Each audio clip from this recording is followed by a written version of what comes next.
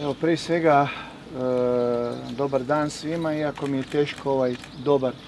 izgovoriti nakon onoga što se jučer dogodilo u Zagorju, negdje oko 19.30 sati. Strašno olujno nevrijeme praćeno tučom, jakim vjetrom, jakom kišom koje je poslije pretvorilo i u bujici i klizište i zahvatilo prije svega općinu Zagorska sela, općinu Kumrovec, općinu Veliko Trgovišće i gradove Klanjec i Oroslavlje. Kao što ste imali priliku vidjeti u ovom kratkom obilasku, šteta na poljoprivrednim nasadima, bez obzira da li govorimo o kukuruzu, da li govorimo o pšenici, da li govorimo o vinogradima, da li govorimo o voćnjacima, da li govorimo o vrtovima je 100%. E, zahvalio bi na dolasku ministrici Vučković što je odmah jučer nakon e, vijesti da je e, se dogodilo ovako veliko nevrijeme koje ne pamte i najstariji stanovnici ovih gradova i općina e,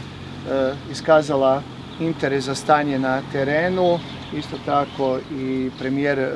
Plenković i odmah dogovorila danas obilazak i ono što je najbitnije od svega, a to prije svega za naše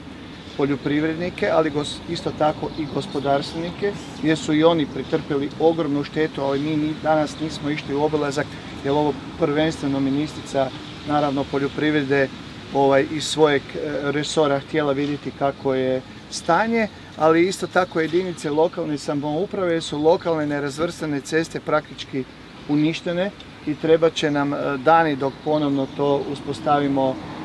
i, i promet i fer stanje kako je bilo prije ovog nevremena. Tako da sam zamolio ministricu da kad će prefingirati predsjednika vlade o stanju na području Krapinsko-Zagorske županije, da skrene pozornost i na ovaj dio šteta koje su nastali na gospodarstvo, a vezano na štete koje su bile na gospodarskim objektima u općini Humu na Sutli prošli tjedan, a isto tako u Humu na Sutli je preko 400 automobila prošli tjedan stradalo. Ovdje će nam trebati dani dok uspostavimo normalno stanje. Ono što je najviše zabranjavajuće na trajnim nasadima su štete takve da će jedan dio nasada se morati baciti van,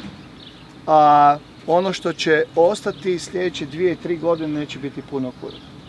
I to je ono što je zapravo ovo nevreme napravilo najveću štetu. Mi kao županija od jučer na večer i stožer civilne zaštite i vatrogasci smo u suradnji sa načelnicima, gradonačelnicima, sa njihovim službama napravili maksimalno što smo mogli. Povukli smo službe negdje oko 3 ujutro, da bi danas ujutro u 6 nastavili sa, e, sa radovima. Hvala kolegicama i kolegama, načelnicima i gradonačelnicima na brzoj reakciji i svim hitnim službama koji su se jučer uključili, ali koji će biti uključeni i danas i sutra, a vjerovatno i preko sutra. Hvala gradonačelnicima ostalih gradova i općina koji su ponudili pomoć preko svojih komunalnih poduzeća ovim kolegama da što prije saniramo e, štetu. I nadam se da je ovo kraj.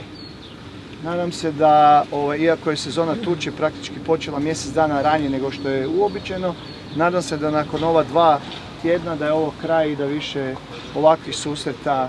nećemo nećemo imati.